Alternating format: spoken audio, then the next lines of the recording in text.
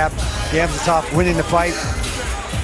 Nice inside leg kick, knocked down Rex Harris, who scrambles immediately back to his feet, reset. Yeah, I like that because he did it at the moment he was snapping there. Look at this.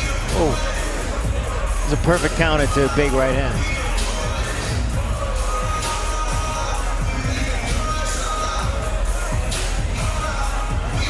This is the close of the round.